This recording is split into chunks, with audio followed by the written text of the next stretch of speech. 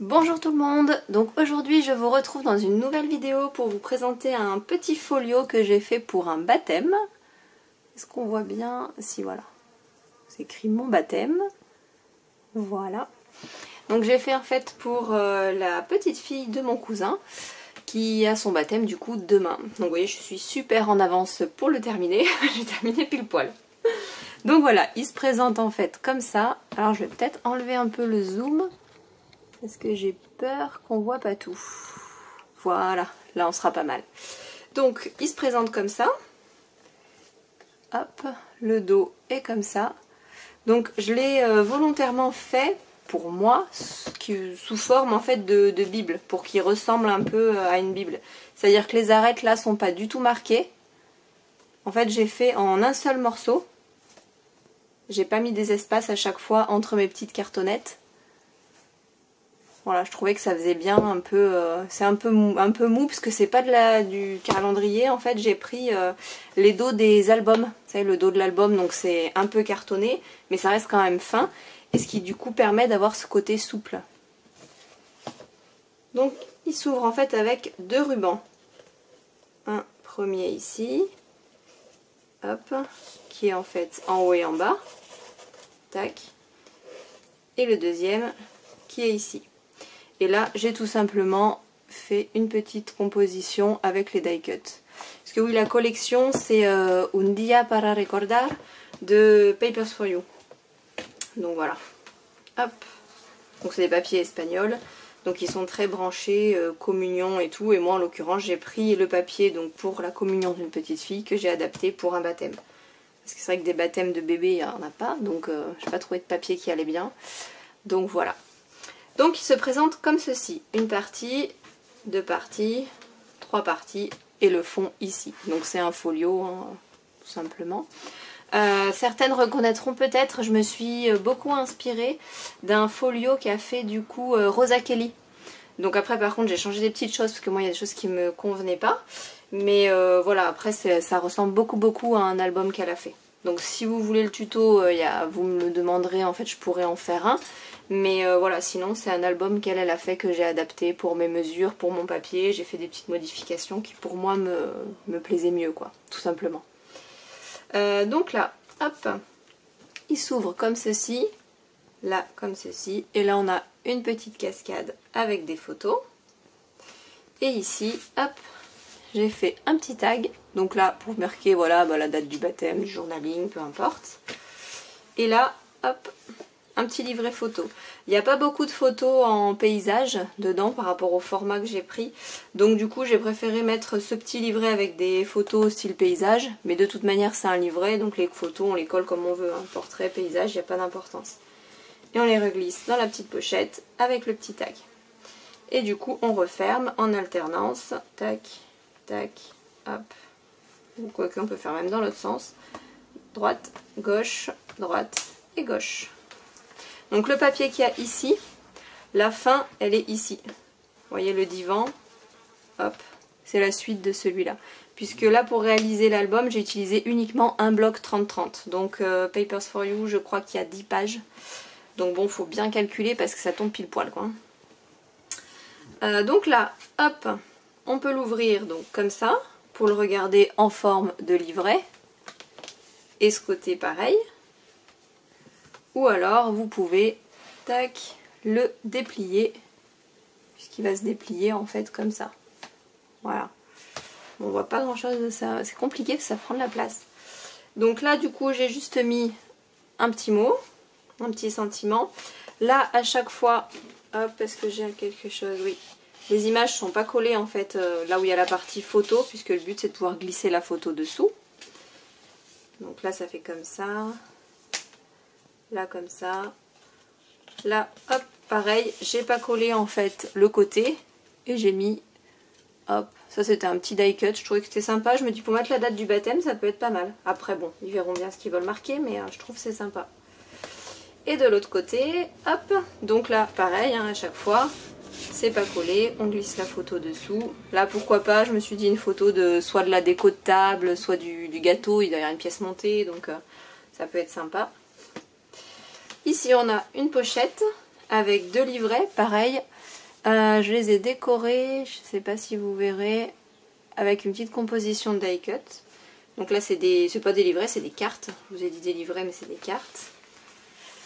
Et là, pareil, une petite déco. Hop, avec une autre carte. Tac, qui se range dans la petite pochette. On passe à ce côté. Donc là, on ouvre ici. On ouvre ici. Et là, on retrouve pareil une petite cascade avec des photos. Hop, ici et ici. Là, j'ai laissé vide. En soi, une photo passe euh, dans ce sens. Mais bon, je trouve que ça coupe la charrette, donc c'est dommage. Et là, ça me permettait de garder la petite colombe que je trouvais sympa. Donc euh, bon. Après, voilà, en soi, c'est possible de coller une photo. Hop. J'ai pas compté d'ailleurs euh, combien on pouvait mettre de photos. Je regarderai à la fin. Là, voilà, notamment ce que je disais par rapport à Rosa Kelly. Ici, je sais pas si vous voyez, là, j'ai mis un centimètre en fait, en plus de battement, avec un pli volontaire, pour que là déjà, on puisse le regarder tranquillement en fait, sans que ça abîme euh, tout notre pli ici, là. Notre petit gousset, il reste entier. Et je trouve que quand on le referme, là en fait, voilà, le pli il est là, ça permet de bien prendre sa place. Donc après, bon, vous n'êtes pas obligé de le mettre, Rosa Kelly le met pas, ça, apparemment ça fonctionne aussi, hein, mais moi je trouvais que ça gênait, donc je l'ai rajouté, voilà. Donc là on ouvre comme ça, ici, hop, dessous, on a un livret, où on peut mettre quatre photos, et à l'intérieur, hop, on a une cascade, euh, donc là en fait, ce morceau, et les chutes qu'il y a ici, là le morceau ici. Là voilà, là je suis plus dans le champ. Donc en fait l'image de départ, c'est donc une page 30-30, hein. vous avez ça d'abord et ça c'est la fin en fait qui vient ici. Sauf que je me suis aperçue que quand je l'ai coupé, étant donné qu'ici on avait la même largeur qu'à la fin, qu'on retrouve en fait ici, ça me permettait de reconstituer l'image là et d'avoir également la tour de mon église ici trouvais que c'était sympa d'avoir l'image reconstituée sans avoir tout simplement des chutes qui sont toutes indépendantes les unes des autres. Et donc là, on a, hop, une cascade, ce qui permet de mettre beaucoup de photos. Voilà. Hop. Et au milieu, bon après c'est pas un, folio de fou, hein, c'est pas un gros gros folio non plus, mais bon. Et au milieu, on retrouve hop, ici. Donc là, on peut mettre une photo. J'ai juste mis le tampon photo, parce que je me suis dit que la, photo pouvait très bien passer là, sans pour autant qu'on ait à, mater, euh, avec le papier raffia que j'ai utilisé là. Donc voilà. Euh, ici, on a un vélo. Donc du coup, au fond, là, tac, je sais pas si vous voyez, ici, j'ai utilisé, en fait, c'est le même vélo qu'on retrouve ici. Avec un petit sentiment là. Et dans notre pochette, on retrouve un petit tag avec le dos, donc je l'ai maté sur de la couleur raffia, hein, c'est du texturé, je sais pas si ça se voit bien, texturé raffia. Hop, et notre petit livret.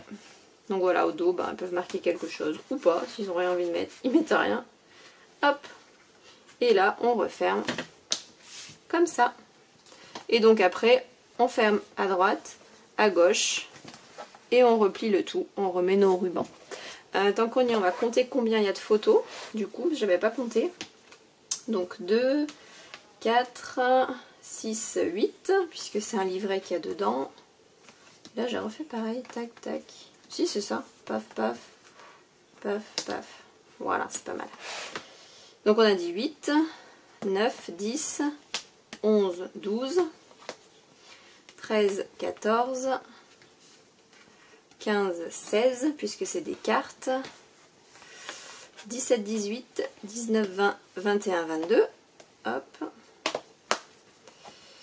22, 23, 24, 25, 26, 27, 28, 29, 30, 31, 32, 33, 34, 35. Donc ça permet de ranger quand même 35 photos. Donc c'est voilà, pour une journée de baptême, c'est pas mal quoi. Et donc là pour le refermer, hop, on fait tac. Donc il y a deux rubans, un qui se ferme de haut en bas. Là si je suis au milieu c'est mieux. Un qui se ferme de droite à gauche. Euh, moi je préfère fermer d'abord celui-ci, celui qui va de droite à gauche, puisque ça permet déjà de tenir notre petit folio fermé. Donc les rubans sont collés, hein. ils sont collés de partout, comme ça ça bouge pas, et ça évite de les perdre, d'avoir à les remettre comme il faut et tout quand on veut le rattacher. Là comme ça ça glisse pas, tout. Par contre, vous voyez là, j'en ai un qui est en train de... C'est des rubans d'organza. Et euh, lui, il est en train de flucher là. Donc il faudrait que je le brûle ou je sais pas si ça se voit. Ça fait des petites fluches pas belles là, donc après ça va tout partir. Donc celui-là, avant de le donner demain, là, faut que je le, que je le brûle un peu pour arrêter en fait le... Fluche. je sais pas si c'est comme ça qu'on dit d'ailleurs, une fluche, mais bon.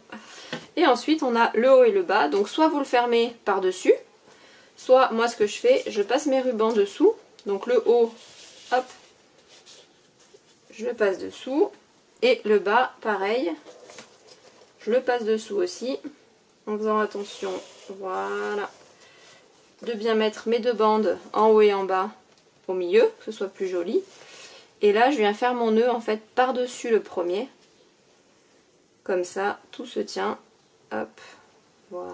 là, vous voyez, j'ai mon premier nœud qui est dessous. Et là, on vient faire le double par-dessus. Comme ça, le haut, le bas, le côté, il y a tout qui se tient parfaitement. Et je trouve, après c'est un avis très personnel, que ça fait très joli. Et là, du coup, hop, on resserre notre ruban. Et là, ça nous fait un bon gros nœud. voilà, un bon gros nœud imposant, bien fille. Et je trouve que voilà, le fait que ce soit croisé, euh, que ça se tienne un peu avec le nœud un peu sur le côté, légèrement décalé, je trouve que ça fait bien, du coup, euh, effet bible. Et ouais, vous voyez, c'est mou quoi. Et là, voilà, le, petit centimètre ici permet que ça prend bien sa place et ça fait pas euh, tout tordu ou serré. Hein. Je trouve que c'est mieux, mais bon, voilà, après... Euh, Rosa Kelly fait des albums magnifiques, donc euh, je remettrai absolument pas en cause sa technique. Hein.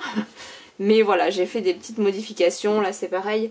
le livret, donc celui que j'ai mis ici qui est en accordéon, donc celui-ci, moi je l'ai décalé en fait. Je l'ai mis légèrement plus euh, vers la gauche, du coup, quand on ouvre, puisque je trouvais que là, sinon, tout était euh, trop tordu et poussé. Mais voilà, après, euh, et lui, je l'ai décalé, du coup, légèrement vers la droite, pareil.